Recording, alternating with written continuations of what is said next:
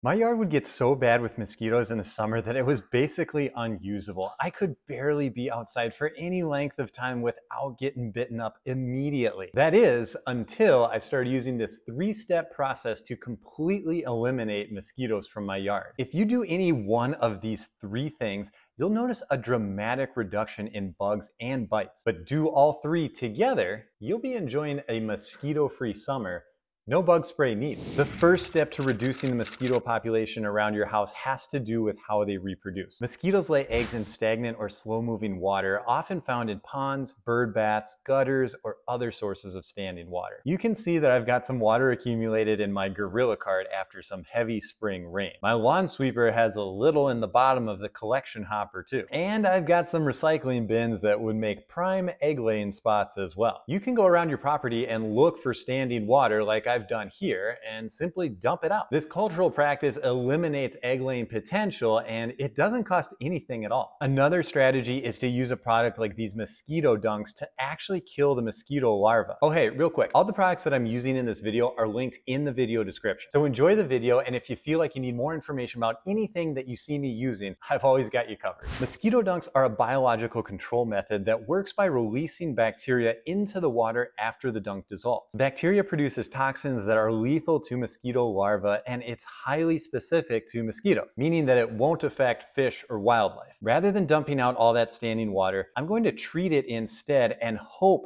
that mosquitoes use it for laying eggs. Eggs that will never actually turn into adult insects. You could even put out a five gallon bucket filled with water and a dunk to encourage the mosquitoes to lay eggs in your tainted trap. If the weather is dry, this method alone can be incredibly effective in controlling mosquitoes around your house house. With dry weather, they won't have as many options for laying eggs except for your easily accessible bacteria-filled bucket of doom. I'm in the beautiful state of Minnesota and you've probably heard about our 10,000 lakes. But with all that water, the lesser known fact is our 10 billion mosquitoes. It was actually a toss-up for state bird between the loon and the mosquito. The loon won, but I see more mosquitoes than I do loons, so just saying. Okay, now that I've interrupted the mosquito life cycle and before the heavy artillery nuclear warfare that is step three, I'm on to step two, and that's these bait stations by Spartan Mosquito. Most bait station eradicators work the same way. The tubes are filled with a mixture of sugar, yeast, and water.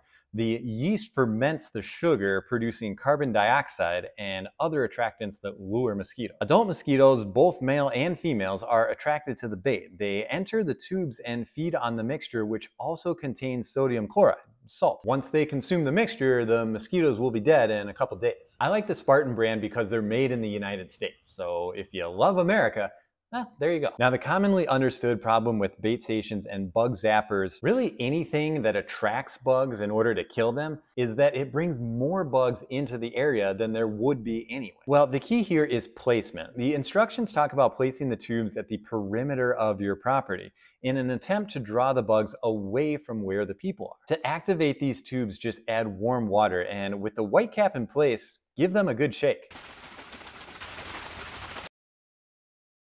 Replace the white cap with the black cap that has the hook on it and it's ready for deployment. As stated previously, I'm shooting for the four corners approach and hanging these at the outer edges of my property away from the house or where any people would be hanging out. The hooks make it easy to find a spot to hang them and keep track of when you set them out because they're only good for about 30 days and you'll want to change them out about once a month. Okay, the first two methods are incredibly effective on their own, but sometimes extreme situations call for extreme measures. And that's what this final step is all about. Bifenthrin is one of my favorite insecticides because of its versatility to control a whole bunch of pests, including ants, termites, spiders, even scorpions, and of course, mosquitoes. It works by disrupting the nervous system of insects, which leads to paralysis and ultimately death. It remains effective long after application, and the insects just have to come in contact with it for it to be absorbed through their exoskeleton bodies. Pretty cool. I'm using a product called Talak, and you won't find it on the shelves of the big box stores. It's a little too hardcore for that. I get mine off Amazon, and again, I'll have a link for you if you want to pick some up. The active ingredient, bifenthrin, comes in a variety of forms, from liquids, dust, granules, etc.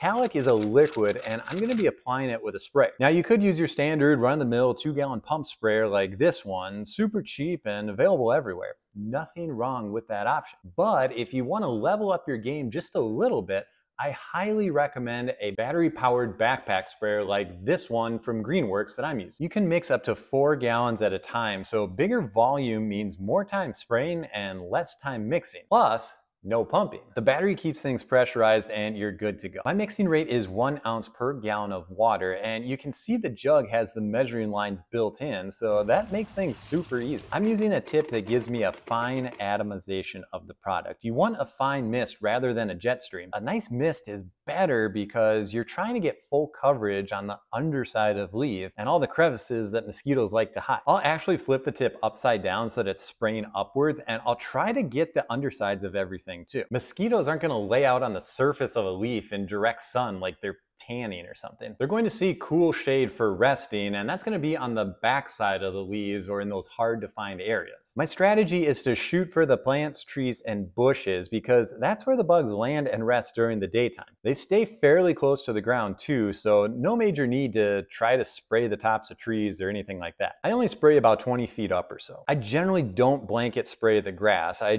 just think most of the mosquitoes hang out in the woods or on the perimeter of my lawn in the bushes and brush, so I focus most of my efforts on those areas. You're gonna see me wearing some safety gear too. This is pretty serious stuff and you don't really wanna be in contact with it. I have latex gloves to keep my hands covered and cool guy shades to protect my eyes and to look cool. I'm also wearing pants and long sleeves, and yes, it's hot out, so it's pretty uncomfortable, but the safety of being fully covered is worth it. I'm rocking calf length muck boots that you probably didn't even notice because they're camo. These rinse off super easy after walking through the treated areas. I definitely don't want to be breathing this stuff in either, so I'm rocking this Breaking Bad respirator to freak my neighbors out. You all remember the N95 rating from COVID times, right? Those are rookie numbers compared to this P100 half mask. You don't have to go all safety savvy like I do, but please put something over your breathing holes. Dust mask, bandana, t-shirt, something. Now the backpack sprayer works great for most people, but I've got a big yard and I wanna show you one more option for the big lot boys watching, and that's the pull behind tank sprayer. These things are sweet and mine technically mounts to the back of my mower, but whether it's a mounted design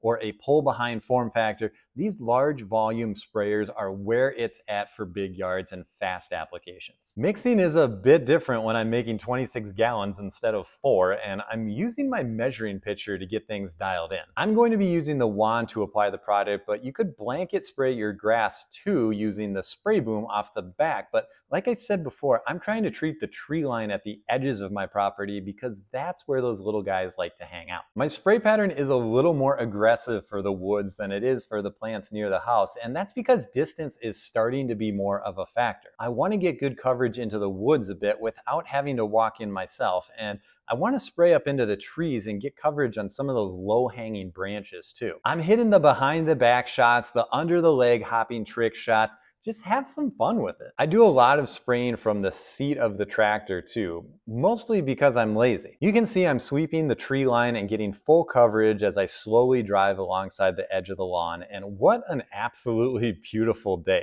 Yes, we have summer here in Minnesota, it's just short and humid. This three-step process has my yard staying mosquito-free all summer and I don't need bug spray just to simply be working out in the lawn. If you need to control other pests on your property, I've got a great ant video that you're gonna wanna see. And I've also got a method to keep your house 100% mouse-free. You can click into those here and if you like this video, subscribe to the channel. I post DIY home and lawn care content all the time. And hey, thanks for watching.